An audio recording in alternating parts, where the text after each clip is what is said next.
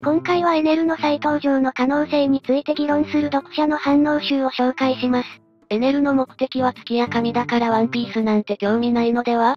むしろあんだけフラグ立てておいてワンピースと全く関係なかったら、なんであんな SF やったんだって？天界に住みながら天界人じゃないっぽいのは何かバックボーンあるんでないのか？自分のいた島滅ぼしたって作中で出てただろ。そんなのどうとでもできるでしょ。貴様ら神に無断で何をやっているのだとか言って登場してもいいし。ここを墓場にするつもりだろうけど、いつか帰ってきたりしないかな。これで終わりかと思ったらなんかたどり着いてた。今何してんの？扉絵で月まで行って色々やった後は不明。本編最後の出番で、月を目指すとこは彼も夢を追ってたんだなって感動した人もいたらしいね。月目指すエンドって演出的にも死んだと思うじゃん。普通に月面到着ってどういうことやねん。限りない大地って言ってて地上目指すのかと思ってたら、確かに大地しかないところ目指してたんだからそりゃあ感動もする。エネルまで夢をエビトにしたのはいい設定だよな。悪役のラストとしてはかなり珍しいよね。ちゃんと目的は達成するけど実害はないやつ。そもそも普通の悪役って目的がやばいからそれをやめるものだけど、エネルの場合は目的は完全に無害で本人が居座ってることが有害っていう特殊なパターンだから。後にも先にも作品の中で一番異質なボスだった。第一求めて地上侵略とかしようとしちゃうんでしょうとか思ってた。神の偉大な考えは俺みたいなちっぽけな人間には予想もできなかった。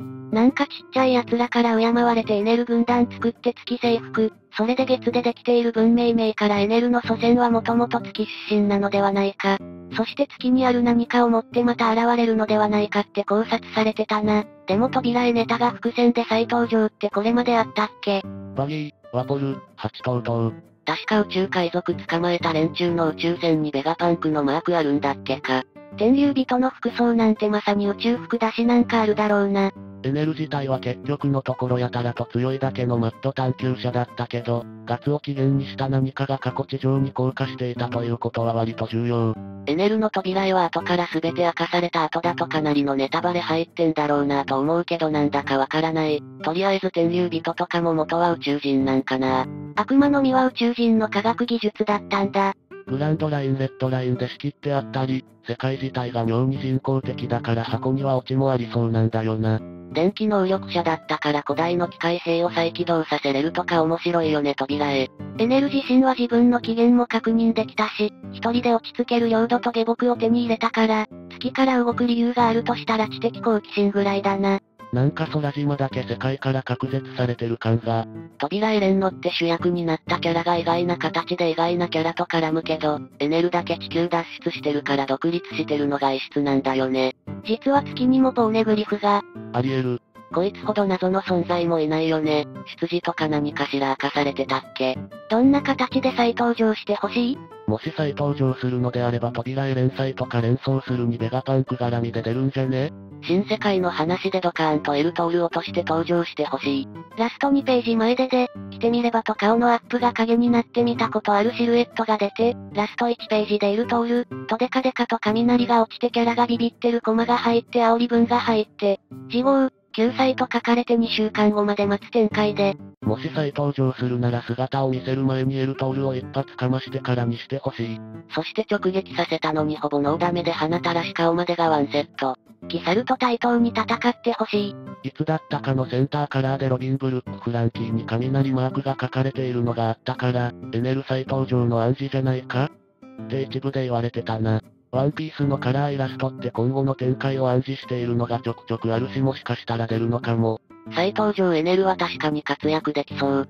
月からモグラたちの主はビルマに降りていって、エネルはそのビルマ出身かつビルマを滅ぼしてるってのはワンピ世界ではかなり重要な事実なはず。ワンピースイコール宇宙船説の通りだと月面エネルは再登場フラグと言える。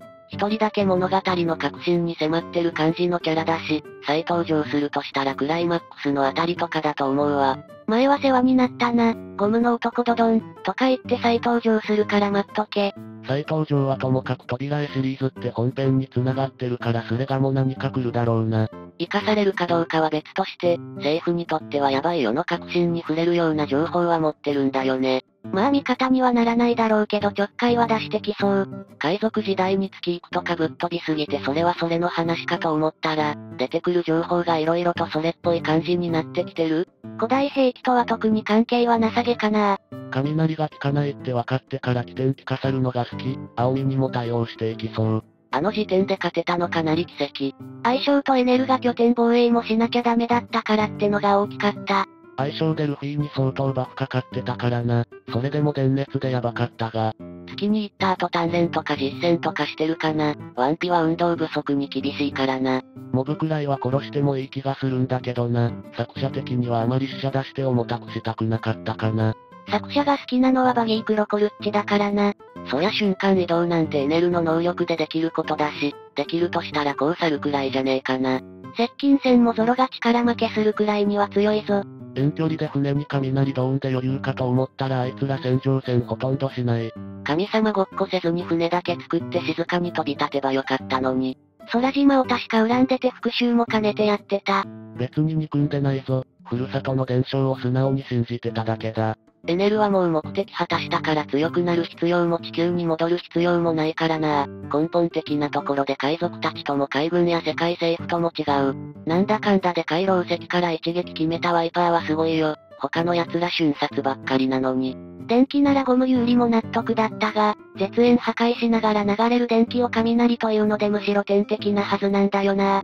ワイパーいいよね。脇役なので脇役なりってんでなくルフィらとは別の人生を送ってちゃんと強い感あって。目的を達してるだけにどう出るかな。